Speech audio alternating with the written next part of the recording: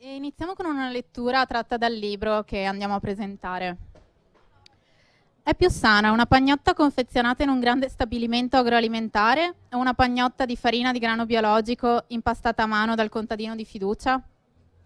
Le normative igienico-sanitarie attualmente in vigore impongono a chiunque si occupi della trasformazione di prodotti alimentari, indipendentemente dall'entità della produzione e dal tipo di lavorazione, di dotarsi di laboratori specializzati che rispettino determinati standard di dimensioni e attrezzature. Queste leggi sono state pensate per regolamentare l'attività delle grandi industrie agroalimentari, che lavorano con grandi quantità di prodotto e di manodopera.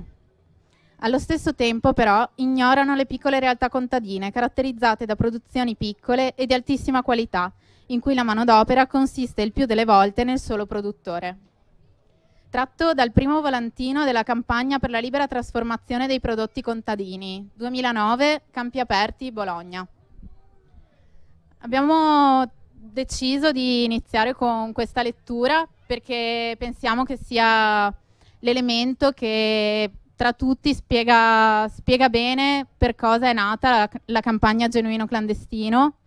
e, e quali sono insomma, i, i, motivi per cui è partito questo movimento che adesso si è diffuso in tutta Italia e che anche in Veneto stiamo provando a portare avanti. E, um, il, il, libro che andiamo a presentare è proprio un viaggio attraverso le, le realtà che in Italia stanno contribuendo insomma, a portare avanti questa, questa campagna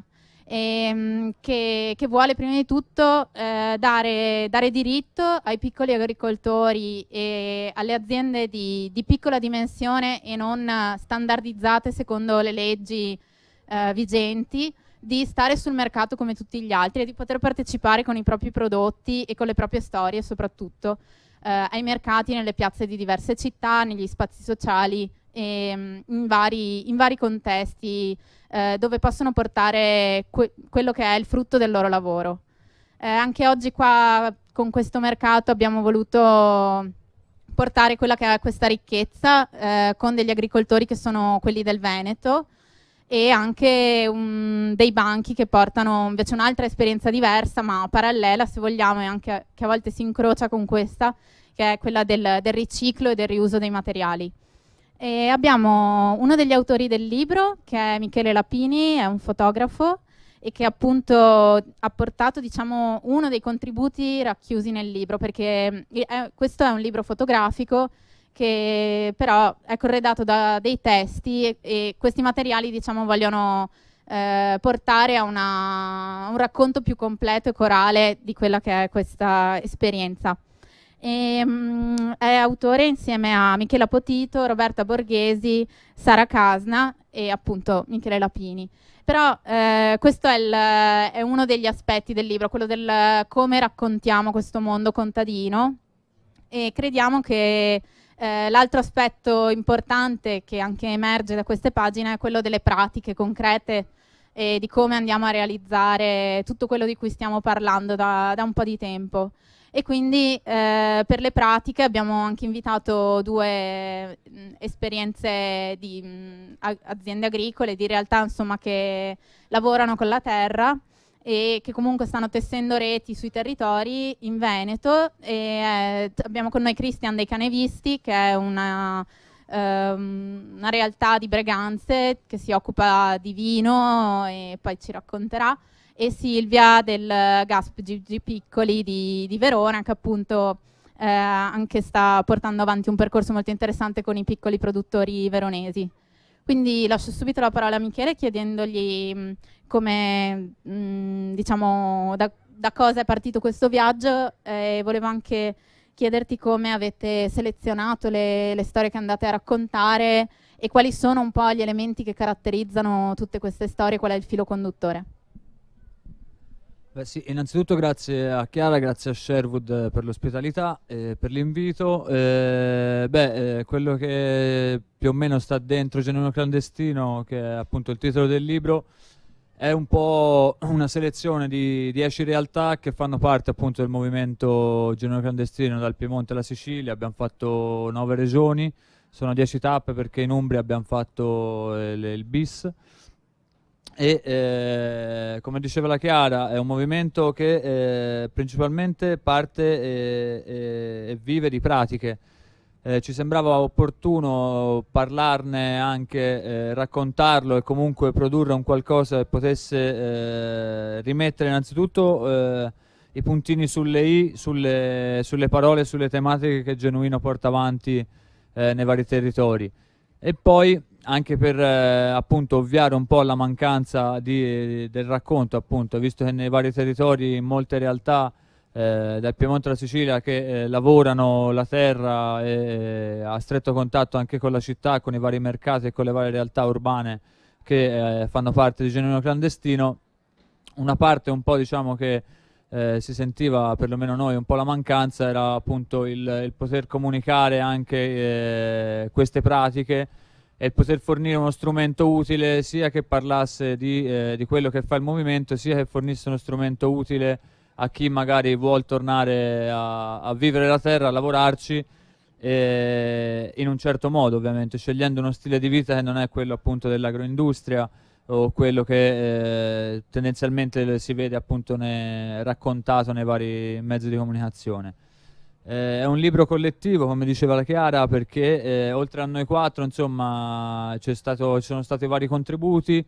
Eh, è nato grazie a una campagna di crowdfunding eh, su produzioni dal basso, in cui grazie appunto a tante e tante coproduttori e coproduttrici eh, siamo riusciti a effettuare il viaggio perché è stato più di 7000 km in nove regioni, quindi è stato bello lungo. Eh, al libro hanno contribuito anche altre persone che sono più o meno dentro il movimento genero clandestino, da, appunto, da, o produttori o persone che comunque gravitano nel mondo urbano o eh, per esempio Luca Ba che è una, un esponente della, della battaglia Notave in Val di Susa. Eh, questa è cioè, la scelta delle, delle dieci realtà eh, si è basata principalmente sul, eh, sul, cercare di dare una panoramica globale di quello che è un movimento eterogeneo come Genuino Clandestino che ovviamente non può stare dentro un libro, un video, qualunque cosa quanto appunto per la sua eterogeneità. Però abbiamo cercato di dare un po' un, eh, vari input eh, e, e, raccontare le varie esperienze. In primis per il tipo di insediamento rurale ovvero eh, raccontiamo di realtà che eh, hanno acquistato la terra, però anche di realtà che eh, ha, queste terre le hanno occupate o le hanno in affitto o le hanno, l'hanno prese attraverso un acquisto collettivo, eh, quindi diventando una comune, oppure che lavorano su terreni abbandonati. In più abbiamo cercato di dare anche appunto una, una varietà su quello che è la produzione appunto agricola e rurale, quindi c'è chi raccoglie, c'è chi trasforma, c'è chi alleva, c'è chi coltiva, eh, dando appunto una panoramica abbastanza generale. In più anche a livello territoriale perché comunque è un movimento che come diceva Chiara nasce nel 2009 come campagna di informazione a Bologna ma che ben, ben presto si trasforma in, in, vero e proprio movimento, un movimento che appunto prende eh, piede in molte regioni, in quasi tutte direi ormai, eh, c'è una bella spinta, vuoi la crisi, vuoi anche un po' il ritorno a eh, ai temi appunto dell'alimentazione del cibo hanno fatto sì che anche in regioni dove fino ad ora il, movi- Movimento Giornale Clandestino non è riuscito a, a creare un vero, una vera e propria rete, adesso eh, è presente. Eh, più o meno era, il nostro obiettivo era quello appunto, sia di dare, come dicevo prima, eh, uno strumento di, di diffusione di pratiche, sì, anche per, eh, per, contrastare un minimo e arginare un po' eh, lo sciacallaggio che in molti stanno facendo adesso sulle tematiche del, dell'alimentazione, del cibo, della ruralità. Eh, a partire da Expo Nutriamo il pianeta, a partire da Fico, l'altra grande opera bolognese, eh, Italy, eccetera, eccetera, in molti, in tanti, eh, sicuramente troppi, hanno, eh, ci sono buttati a capofitto su, su quelle tematiche e su quelle e su quelle pratiche, o meglio, sulle pratiche no, però solamente sulle tematiche e sulle parole che ovviamente nascono dal, dal mondo contadino e dell'auto-organizzazione. Eh, con questo libro eh, abbiamo cercato di rimettere un po' i puntini sulle i anche su, su, questo, su questa cosa qua, eh, cercando anche di evitare che poi arrivasse qualcuno che scrivesse del movimento, cioè la Roberta e la Michela sono da, da più o meno sempre dentro il movimento, e, e, pensavano da tempo appunto di scrivere un qualcosa sul movimento prima che lo facesse qualcun altro, come è successo anche in molte altre, in molte altre esperienze di, di, movimento. Quindi questo è stato più o meno eh, il nostro obiettivo. Poi Wuming ci ha fatto la postfazione eh, alla sua maniera e secondo me è splendida e, e ovviamente eh, tutto è stato possibile sia eh, grazie alla campagna crowdfunding ma anche, anche alle, alle realtà che ci hanno ospitato e supportato a tante, tante realtà che appunto durante il viaggio, durante il percorso, il, il costruire il progetto ci hanno appunto sostenuto o economicamente o eh, semplicemente dandoci un tetto o organizzando un qualcosa per farci andare avanti. È un libro appunto, se, cioè, lo considero tuttora collettivo, i nostri nomi sono quelli sulla copertina, però non siamo i soli autori insomma, di, di questo libro e non è sol- solamente grazie a noi che, che esiste e soprattutto grazie appunto a chi nei vari territori come qui e come nelle altre regioni appunto mette in pratica il, quello che è appunto genuino clandestino e quello che è, sta scritto un po' nel manifesto che è condiviso da tutte le realtà. Ehm, quello che, che, mi piace del libro è che mh, mm, le fotografie e le storie attraversano quelli che sono i temi di genuino clandestino, no? quindi eh, c'è una prima parte che parla della trasformazione dei prodotti, eh, che è anche quella che abbiamo letto prima come introduzione. Poi si parla dei mercati, eh, anche, anche noi in Veneto continuiamo a discutere di come dare una possibilità a questi produttori di stare nelle piazze a buon diritto come possono stare gli altri produttori. E, um, il tema dell'accesso alla terra, che è un, è un, tema importante per Genuino Clandestino e che è diciamo, raccolto in, un, in una campagna che si chiama Terra Bene Comune e che vede oggi due esperienze principali che sono quella di Mondeggi e un'altra a Caicocci in Toscana e in Umbria e il tema della garanzia certificata, su cui poi Silvia sicuramente ci può portare una testimonianza per quanto riguarda il Veneto, quindi l'idea di andare oltre le solite certificazioni per fornire ai, ai consumatori, ma anche tra gli stessi produttori, un sistema di, eh, di garanzia basato sulla, sulla, fiducia, ma anche sulla relazione diretta e il controllo di certi parametri eh, che, mm, che, siano insomma, condivisi da, da una comunità il tema delle filiere e quello delle sementi, quindi queste sono un po' le cose che attraversano il libro e che portano a rispondere a una domanda iniziale che è quella chi è il contadino oggi? Eh, o meglio, potremmo dire chi è il contadino genuino clandestino oggi? Quindi, visto che qua abbiamo due, due esperienze, eh, lascerei la parola a loro per, eh, per proprio capire come eh, queste tanti di, queste, di, questi termini che utilizziamo ci vengono sottratti dalle eh, esperienze che ha citato prima Michele, quindi Expo piuttosto che Italy e, e Fabbrica Italiana Contadina Bologna. E pensiamo invece di poter tornare a essere sovrani insomma, di, di queste parole e in che modo e come fate questo lavorando la terra oggi. Oh, oh, si sente? Sì. Eh, beh, ov- ovviamente eh, diciamo che l'etichetta del contadino si è un po' modificata e, e per fortuna la stiamo anche modificando. Dall'altra, dall'altra, parte posso solo raccontare la mia, la mia, esperienza perché così magari si, si capisce un po' meglio cosa, eh, chi è il contadino insomma, al giorno d'oggi. E io ho fatto il militante per, eh, attivo per eh, tantissimi anni in un centro sociale e comunque coltivavo sempre il sogno di poter eh, lavorare la terra e vuoi anche per la crisi, come si diceva prima, eh, diciamo che questo sogno ho, ho, tentato di, di, realizzarlo e in parte diciamo, eh, ci sono riuscito. Ehm, devo dire che eh, parecchie cose che escono sui giornali sul ritorno dei giovani in agricoltura eh, siano, sono un po' fuorvianti perché io ho avuto la fortuna di avere due ettari di terreno della mia, della mia famiglia e grazie a quei due ettari sono riuscito a, ad ampliarmi, a prendere dei, degli altri terreni in affitto e quant'altro. La mia passione è la viticoltura e voglio fare vino, insomma, ecco. E grazie a questa storia ehm, sicuramente la mano dei genitori che avevano questi due ettari di terreno è stato, è stato sicuramente fondamentale, altrimenti sarebbe quasi impossibile. E acquistare un terreno al giorno d'oggi eh, per chi vuole iniziare da zero o ha un patrimonio alle spalle oppure nel senso è veramente dura. E, e solo grazie a, a, questo insomma diciamo sono riuscito a, eh, ad aprire questa azienda ma non solo perché se inizio a parlare un po' del, del problema del mondo di, del vino che ovviamente si lega anche ad altre situazioni e contesti e ho eh, preso in affitto una miriade di vitigni internazionali Cosa sono i vitigni internazionali? I vitigni internazionali sono eh, per esempio il Cabernet Sauvignon, il Merlot, il Pinot Grigio, lo Chardonnay e quant'altro. Sono vitigni che sono presenti in tutto il mondo e, e che sono praticamente standardizzati.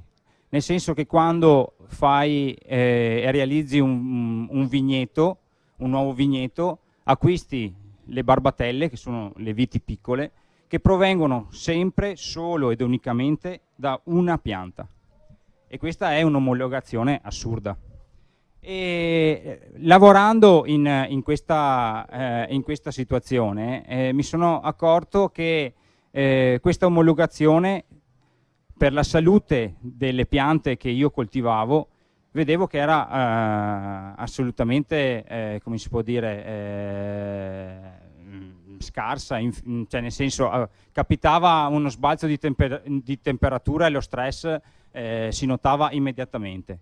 Dall'altra parte però ho avuto la fortuna che in mezzo a tutti questi vitigni internazionali ho trovato del, dei piccoli vigneti di eh, vitigni antichi della zona di Breganze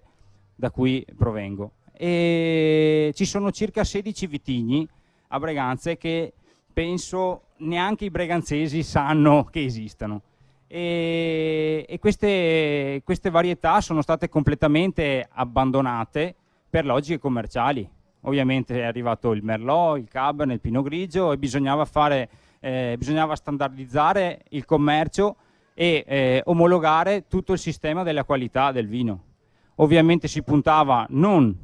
al eh, livello qualitativo e espressivo di una determinata varietà, ma si puntava solo ed esclusivamente alla maxi produzione, alla resa eh, abominevole per ettaro, per poter fare ovviamente vini mediocri.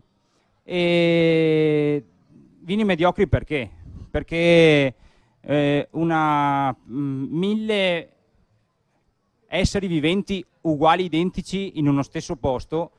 Eh, ovviamente eh, ehm, comporta ad avere numerose malattie, molto di più rispetto ad avere eh, ceppi diversi e quant'altro, perché ovviamente caratteristiche e, eh, e diversità fanno in modo che una pianta sorregga l'altra in caso di difficoltà e viceversa.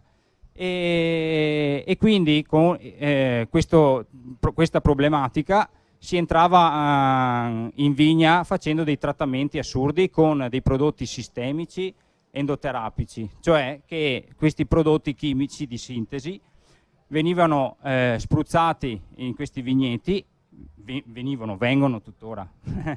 eh, magari venivano, e per eh, fare in modo che questi prodotti entrano nella linfa del, della pianta e che in qualche modo eh, si cerchi di, di, di salvare il salvabile. Dall'altra parte però avevo anche questa bellissima esperienza di vitigni sconosciuti, uno diverso dall'altro, e, e, che evident- cioè, eh, ci stavo veramente molto molto eh, poco in, questo, in, questi vigneti, però non si ammalavano. E quindi ovviamente qualche domanda me la sono fatta. E lì ovviamente ho iniziato ad informarmi eccetera. E mh, sono, ho girato tutto il, il, il, paese di Breganze, ho girato nei vari vigneti, nei piccoli orti, nei giardini per recuperare queste, queste varietà. E il mio intento, il mio progetto futuro è quello di eh, fare vigneti eh, di queste eh, 16, 16, varietà e farle eh, in maniera, tra virgolette, mista, in modo tale che eh, già il primo trattamento per, eh, per la difesa lo, siano le stesse piante a doverlo fare. Insomma, ecco. Questa è la, è, la mia esperienza. Adesso io ho 7 ettari di, di vigneti, ne ho circa, eh, eh, l'anno scorso ne avevo uno di vigneti antichi, adesso quest'anno ne ho tre, piano piano tento di convertirmi completamente, abbandonare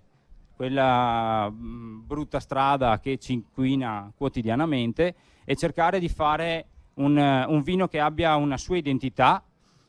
e, e che sia legato al territorio, perché evidentemente se c'erano queste varietà eh, in, quel in, quel determinato territorio c'era un motivo, perché insomma eh, un tempo, eh, i contadini di un tempo, non parlo di contadini degli anni 80, dagli anni 80 in poi,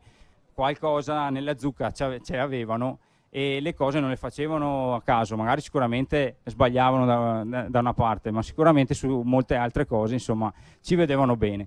E per me, chiudendo, tornando al discorso delle pratiche del contadino di oggi, la cosa fondamentale è quella di riuscire a, a riportare in vita le pratiche, le, le, idee, gli istinti dei contadini di un tempo e cercare di eh, avere ben chiaro in mente quasi, quali siano stati gli errori di quei contadini. E ovviamente guardare anche dall'altra parte, nel vigneto confinante che, dove vengono spruzzate chissà, chissà quante robe e sono sempre sotto a, a, tra, a far trattamenti. E, e, questa cosa qua secondo me è il, è il, è il fulcro uh, anche per, uh, per, il futuro perché comunque avere eh, qualcosa di, di, di sano e cercare di lavorare con pratiche biologiche o biodinamiche sto sperimentando anche la biodinamica per, per conto mio, non sono un, un, estremista della biodinamica, però so benissimo che alcune pratiche sono da valorizzare dal punto di vista agronomico e per me questa è, è la strada. Faccio una breve parentesi che si parlava di canevisti, eh, faccio parte del gruppo dei canevisti di Breganze che è un gruppo di viticoltori, eh, ci definiamo viticoltori, saggi bevitori, che abbiamo la passione del vino e, e ci troviamo 3-4 volte all'anno per fare delle, gusta, delle degustazioni non sui vini che acquistiamo, eccetera, ma sui vini che produciamo noi in uh, garage, piccole cantine e quant'altro. Una cosa abbastanza autoprodotta, illegale, e, questo, di questo me ne, me ne vanto. E, mh, mm, ci troviamo mh, mm, queste 3-4 volte all'anno, andiamo a fare dei, dei, viaggi legati alla viticoltura, andiamo a visitare delle aziende eh, sia estere che, che, italia che italiane e, e, sicuramente anche questa esperienza qua mi ha dato, eh, come si può dire, la,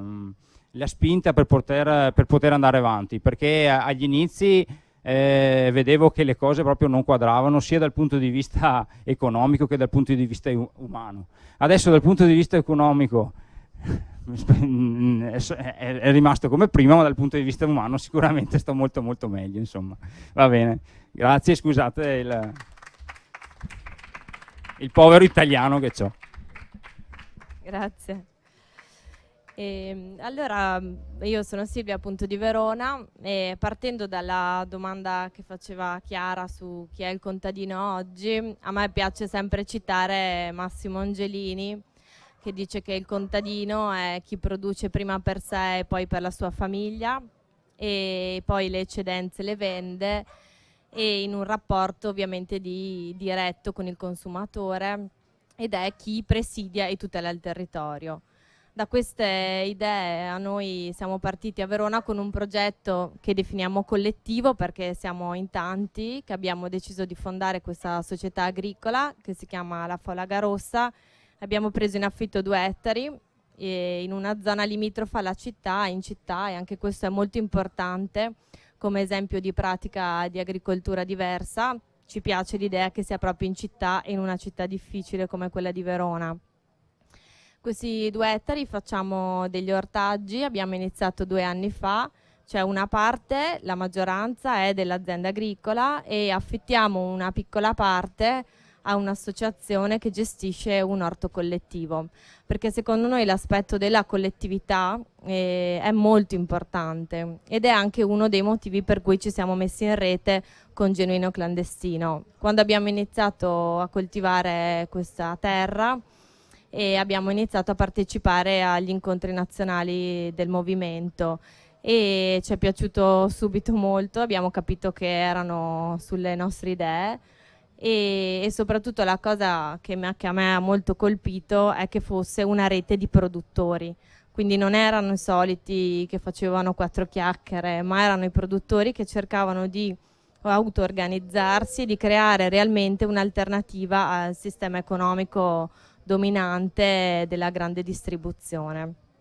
E sempre su questo aspetto abbiamo quindi deciso di esportare nella nostra realtà locale veronese le idee del movimento e farle proprie. Quindi abbiamo pensato immediatamente ad un mercato locale che già c'era, che appunto è il GASP Gigi Piccoli, che si trova una volta al mese, dove già esisteva una rete di produttori piccola, che, di produttori resistenti da tanti anni, da dieci anni, e questi erano produttori che già venivano e frequentavano il centro sociale quando ahimè ancora c'era Verona e avevano partecipato a tutto il progetto del Critical Wine e dalle felici intuizioni di Veronelli e ancora questo mercato esiste, lo facciamo una volta al mese in una, un quartiere della città che si chiama Veronetta, un quartiere multietnico, il quartiere dell'università, un quartiere molto importante da cui io penso che partirà la, l'alternativa veronese e, eh, e, qui abbiamo appunto appena, abbiamo appena aderito dopo varie riunioni con i nostri produttori locali alla rete nazionale di genuino clandestino e stiamo avviando insomma dei percorsi di certificazione partecipata perché già esisteva qualcosa che è l'autocertificazione appunto nata dal, dall'idea del critical wine. Però secondo noi l'autocertificazione oggi non basta più e eh, ci piacerebbe, insomma, con il tempo ovviamente non è semplice, cominciare ad organizzare appunto un processo di certificazione partecipata anche nella nostra rete locale. Quindi anche prima parlavamo nell'incontro nostro qui dei produttori del Veneto di provare un'esperienza regionale perché ovviamente non è semplice organizzare le visite in azienda tra i produttori, ognuno preso nelle sue attività quotidiane, diciamo che appunto questa cosa è, è complicata però secondo noi insomma funziona. Un'altra cosa che mh, mm, è molto importante è la dare una continuità al mercato, perché secondo me il mercato è veramente fondamentale, al di là dell'importanza dei gruppi di acquisto solidale o di altri metodi di, di vendita diretta che può avere il produttore, io credo che il mercato sia fondamentale ed è anche uno infatti dei capitoli del libro, è proprio dedicato ai mercati i mercati danno la possibilità ai produttori di confrontarsi, di creare una rete, di scambiarsi tra loro i prodotti e di farsi veramente conoscere, di parlare col consumatore e di creare veramente quel rapporto di fiducia che chiaramente nel supermercato non è possibile avere. Quindi su questa, su questa idea del mercato mm, ovviamente organizzarlo non è semplice per cui per ora lo facciamo una volta al mese, però abbiamo iniziato un mini piccolo, un piccolo mercato del Gigi Piccoli. Il, il, giovedì um, dalle 7 alle 8 la sera, insomma una piccola distribuzione in cui ci mettiamo insieme 3-4 produttori e facciamo questo piccolo mercatino. Perché è molto importante la continuità ovviamente come esiste in, uh, già in città dove il movimento esiste da tempo, se si vuole dare l'alternativa reale al supermercato la continuità settimanale è assolutamente fondamentale e poi il mercato dà anche la possibilità ai produttori di mettersi in rete. Quindi noi facciamo quattro verdure, il nostro vicino della Lessina ne fa altre quattro l'altro porta i formaggi si dà una certa possibilità in più e una, di, di, veramente fare degli acquisti settimanali per la propria spesa. Insomma, anche qui in Veneto appunto ci stiamo muovendo, io ho, ho speranze che, che, le cose funzionino perché ogni volta che ci troviamo ci sono sempre produttori nuovi, ce ne sono diversi, quindi ci sono tanti piccoli produttori che hanno bisogno di mettersi in rete e di eh, trovare delle forme di autogestione, di auto-organizzazione e questo è sicuramente la strada giusta per la piccola agricoltura contadina.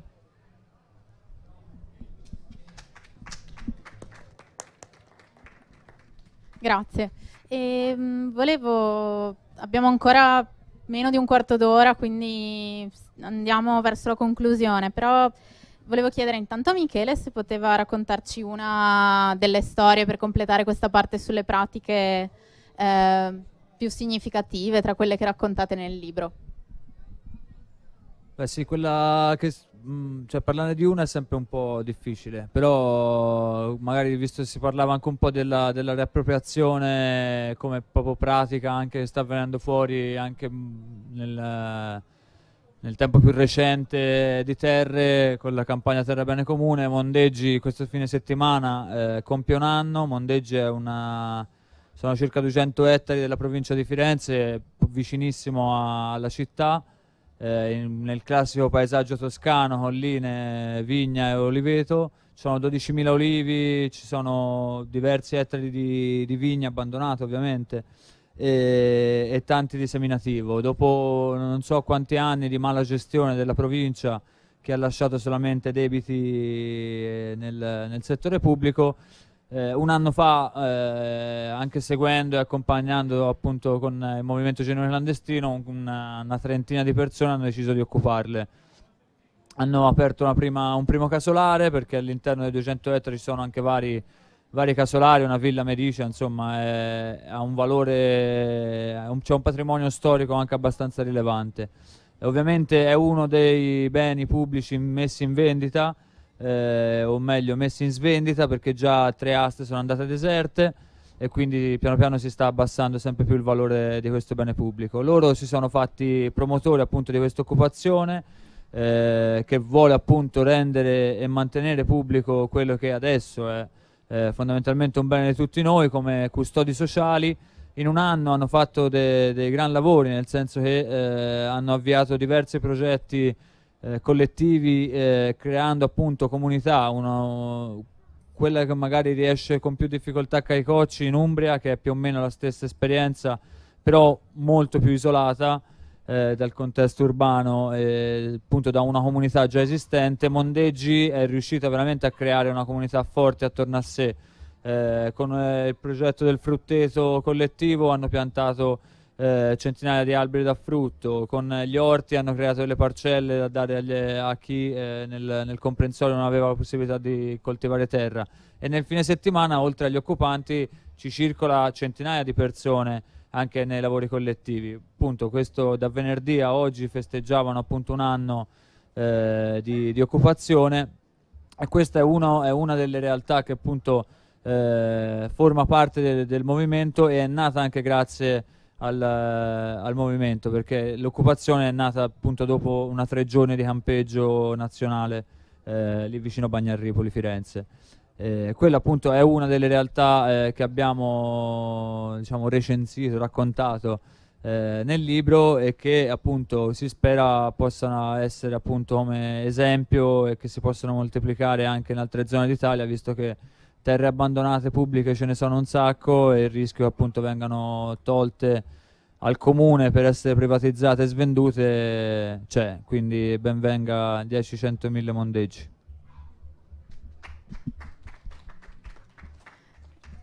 E, ehm, allora, beh, intanto il mercato che è qua intorno a noi continua ancora per qualche ora, quindi vi invito ad andare. Eh, possiamo anche continuare questa chiacchierata, insomma, bevendo un bicchiere del vino di Christian o eh, insomma, assaggiando quello che ci viene proposto. E, um, il prossimo incontro nazionale di Genuino Clandestino sarà a Milano in ottobre, quindi eh, se qualcuno comunque fosse interessato ad unirsi, a saperne di più, eh, possiamo partire da questa sera per eh, tenerci in contatto. E volevo chiudere leggendo un, una piccolissima parte della um, conclusione del libro che è a cura di Booming 2, e, um, che praticamente si intitola Dammi tre parole e diciamo, suggerisce tre parole di sintesi per, uh, per tutto questo racconto. Secondo me è, è veramente molto bello. E vi, dico solo la prima, così le altre due potete scoprirle leggendo il libro che trovate qua nel banchetto insieme a un'altra selezione di libri su questi temi. Appunto parla delle parole contadine contro parole scippate, parole genuine contro parole intossicate, parole da evitare e parole da riscoprire. La prima parola che vorrei masticare è un plurale femminile, pratiche, il termine risale a una radice, par, che indica il muoversi attraverso uno spazio e che ritroviamo in esperienza, porta, poro, pericolo, così come nel greco peirao, tento, e di lì in pirata, cioè colui che attraversa i mari e tenta un assalto, e nel tedesco faren, viaggiare. Eh, una parola davvero azzeccata per un viaggio che racconta l'esperienza e i tentativi di un'agricoltura contadina e per certi versi pirata ma pratiche al plurale è anche una parola rivelatrice. Fa parte del dialetto di una precisa tribù. Al, al bar sotto casa è raro sentirla e quando capita è perché si parla di burocrazia. Le pratiche intese come i documenti che si devono presentare allo sportello tal dei tali. Nel sito di un comune, di una cooperativa sociale o di un'associazione puoi forse imbatterti nel concetto di buone pratiche, ma è solo se partecipi all'assemblea di un centro sociale, di uno spazio occupato o di un collettivo universitario che sentirai ripetere più volte. Condividiamo le pratiche, pratiche di riappropriazione, tutti uniti, ma ognuno con le sue pratiche, eccetera. Si sa che le parole, come la verità, corrono il rischio di logorarsi, specie quando diventano tappabuchi, ma la parola pratica in questo libro è davvero la spezia che dà il sapore al piatto. E quindi grazie a voi che avete partecipato al dibattito, allo stand di Zoom Out che ci ha ospitati con tutto lo staff di questa tribù che rende possibile il festival e buona serata a tutti.